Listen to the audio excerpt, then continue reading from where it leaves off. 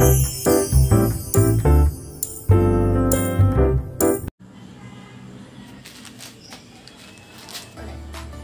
guys! Welcome or welcome back to my channel. My name is Denise. And right now, we will have a very special video. Kasi i-unbox natin or i-unpack yung isa sa mga pinaka-favorite books ko from Wattpad. This is Evergame. The title of the story is Evergame by Nightingale. Ito na siya guys.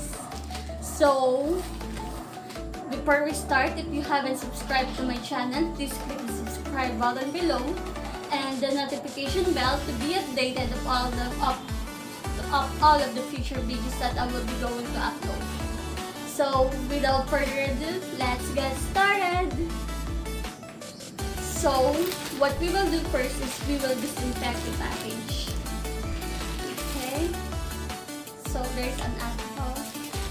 Actually, na-disinfect na siya kahapon yung na-receive ko. Then, ito na. Bubuksan na natin. Ito na. Ano? Ito na siya, guys.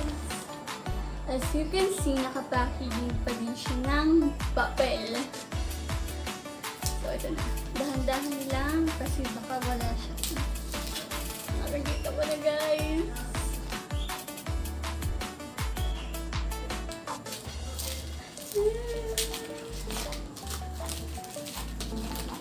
And by the way, while I'm opening the package, I just want to show you my necklace.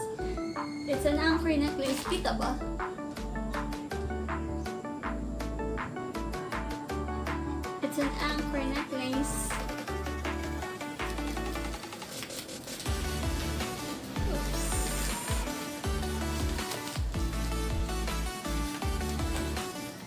Anchor kasi, it means hope daw, according dito sa story nito. Wow! Thank you, Zarkon! May postcards pa kasama. Thank you for ordering. You were not alone. Nice! Then there's one. Little things make big days. Trust yourself. Cutesky! So, ito na guys. Oh, baka mabasa. Ah! Ano? Ito na siya!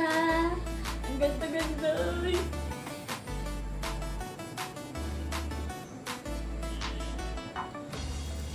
Ito nga po pala, bago natin buksan, nais ko lang sana i-plug na ito. Para sa mga hindi pa nakakabasa ng Evergame, you can read it in Wattpad. Evergame is written by Night in Black. Napakagandang story po nito, kaya I highly recommend you na basahin niyo po ito.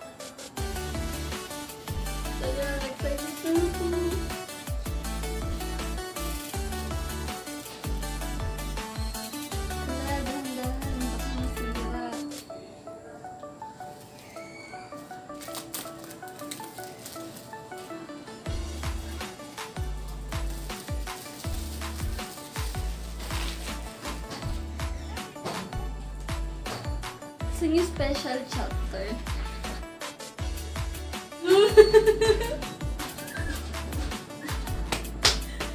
oh my god, ang ganda. Saka ka natatapos magbasa. Parang syempre, feels na feels. Alam ka naman dito ko basahin So, ayun nga, guys. Ang ganda. Promise, for the purchase. Napakaganda ng story.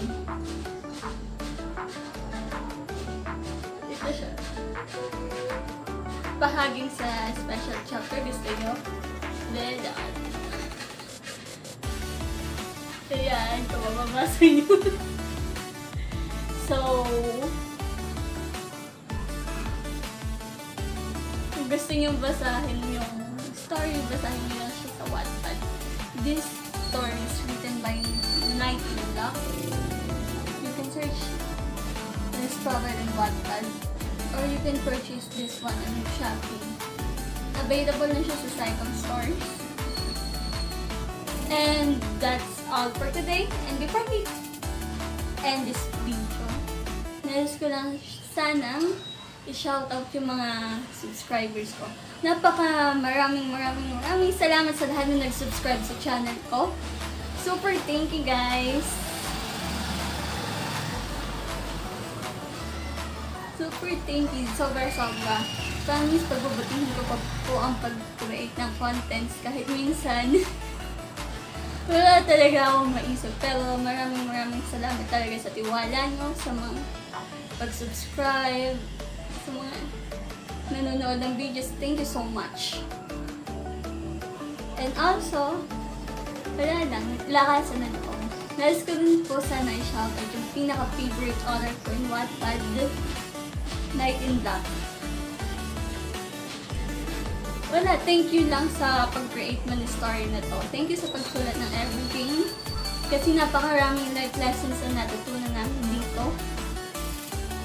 Yung tipong sa bawat paglalakbay ni Rocky and Nati, parang kasama na rin kami.